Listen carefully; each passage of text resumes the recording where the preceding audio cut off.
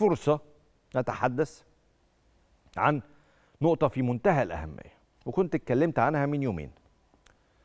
لابد لابد ولزاما إن الاتحاد المصري لكرة القدم مع منتخبات مصر المختلفة يفضلوا طول الوقت طول الوقت يدوروا على اللاعبين المصريين مزدوجي الجنسيه اللي ينفع يلعبوا المنتخب مصر وما نعرفش عنهم حاجة. طول الوقت. ده كنز يا جماعة. كنز كبير جدا. وأشرت من كام يوم لفكرة إن اتحاد الكورة رفض إن روي فيتوريا يسافر أوروبا يعمل جولة هناك ويشوف ويقابل اللاعبين المصريين مزدوجي الجنسية اللي ممكن يلعبوا المنتخب مصر اتحاد الكورة كان رفض. رفض لأسباب مالية. يعني زي ما قلت لكم وقتها إنك هتصرف 400 500 ألف جنيه مصري يعني مش بحسبها لك بالدولار 400 500 ألف جنيه مصري في السفرية ديت يعني. أنت لو خدت واحد لو كسبت واحد لمنتخب مصر واحد بس ده ملايين الدنيا ملايين الدولارات. واحد. فأنت بتبخل في حاجة مش المفروض تبخل فيها بصراحة ده رأيي يعني. بس في كل الأحوال لازم نشتغل ولازم نتعب ولازم نجتهد. وأنا عارف إن الجهاز الفني المنتخب مصر الأول بيعمل ده بشكل دؤوب جدا وبيشتغل عليه طول الوقت.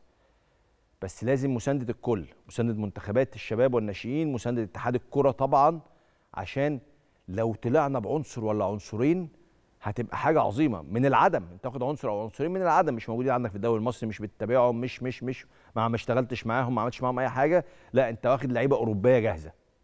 جاهزين بقى هم مولودين واشتغلوا تدريبات ولعبوا فرق آه، شباب وناشئين كلها في أوروبا. فانت تقريبا بتاخد أكنك بتجيب محترف أوروبي يلعب معاك. بشكل مجاني.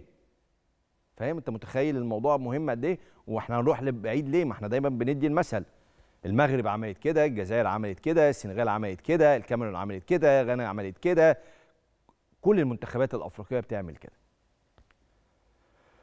ففرصة وإحنا عندنا محترفين. خد بالك أنا زي ما أنا النهارده جاي أشيد في بداية الحلقة بعدد المحترفين وتألق محترفينا في أوروبا وفي الدول العربية برضو هي حاجة تزعل.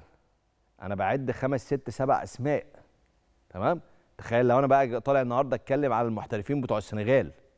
أقول لك محترف السنغال عملوا في إيه؟ في أوروبا السنة دي. هتلاقي على الأقل 100 واحد على الأقل يعني 100 واحد. فبرضه إيه؟ إحنا فرحانين بالمجموعة اللي عندنا. آه فرحانين بيهم طبعا بس لازم يزيدوا كتير كتير جدا أكتر من كده بكتير. وطبعا مش هكلمك بقى على فتح باب الاحتراف والكلام اللي أنت بتسمعه من التسعينات دوت اللي هو لازم نفتح باب الاحتراف للاعبينا يا جماعة وشبابنا وناشئينا عشان دي قتلت بحثا. قتلت بحثا وكالعادة واقفين محلك سر فيها.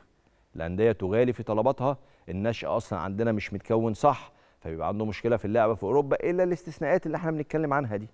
بس هي استثناءات قليلة جدا. برضو دي محتاجة شغل وتعب ومجهود من الجميع من الجميع يعني.